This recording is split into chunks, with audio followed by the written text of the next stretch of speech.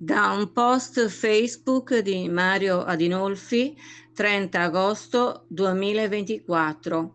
L'assassino di Sharon Verzeni si chiama Mussa Sangare e tutti, ma proprio tutti i giornali e i telegiornali si affrettano a precisare alla prima frase è italiano.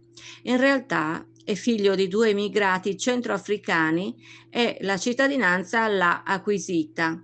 Questo vuol dire che tutti gli immigrati e i figli eh, di immigrati sono delinquenti e assassini? Ovviamente no ma l'istintivo moto ideologico che pure su una insensata tragedia come questa fa prevalere la narrazione sulla verità, perché si teme che la verità possa pregiudicare l'operazione politica di queste settimane, che mira ad allargare le maglie della concessione della cittadinanza italiana, a me fa parecchio schifo